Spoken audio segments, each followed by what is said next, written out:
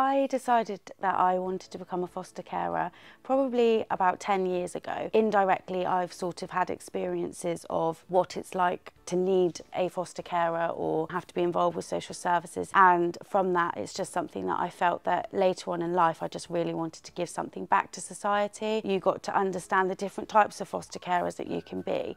And so I decided that I wanted to become a respite carer, mainly because I run a, a small business. So respite care seems to just be the right fit because it means that it's not all of the time, but at the same time, I get to do what I love to do, which is to give something back and help foster carers as well. You know, it's so lovely. We've just had the Halloween um, activity day, and there was some children that I'd not seen for a while and we did like a family uh, quiz thing and they all wanted to be on my team and they all remembered my name because I'm not in their lives all the time it's really nice that actually they, they do still remember me and like, one of them in particular is coming to stay in a couple of weeks and she's like oh yeah I'm coming to stay in a couple of weeks and I'm looking forward to seeing Pebbles which is my dog and what are we going to be doing when I'm there? And we are just one big family so we we do get to stay connected and and keep in contact with each other which I think is really important. It's really nice that you know even if they've only been with me for a weekend or a short amount of time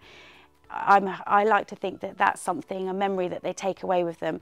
And I always give them a photo or, or, a couple of photos of their time with me so that they can take that away and just remember those memories as well. Well, you can see from my face that it clearly makes me very happy and, and I think that's really important. From the get-go with ISP, the start of the application process, it was just incredible. We have an amazing group of carers. We get together every month. I've got my supervising social worker, so I meet up with her every four weeks. I can meet up with my fostering advisor as often as I like. It really is just a check-in to make sure you're okay, everything's okay. And I think, you know, you need that. And it also gives you reassurance that what you're doing is right. And you can pick up the phone and you can phone someone at any time, any time, day or night. I also had a foster carer that I was able to go to out of hours who actually ended up coming over and supported me through you know, a really difficult time. And so it was just a really lovely feeling to know that you're not alone in this journey. Everyone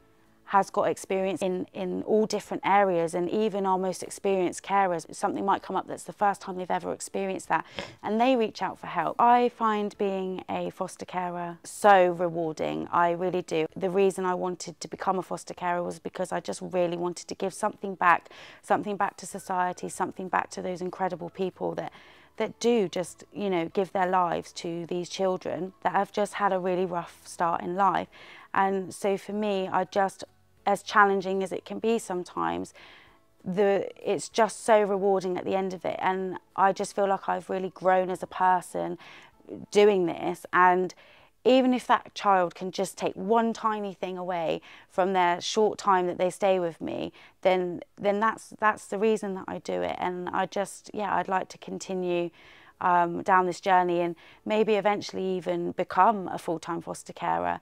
Um, you know, but yeah, for me, it's it's the most rewarding thing I've ever done in my life.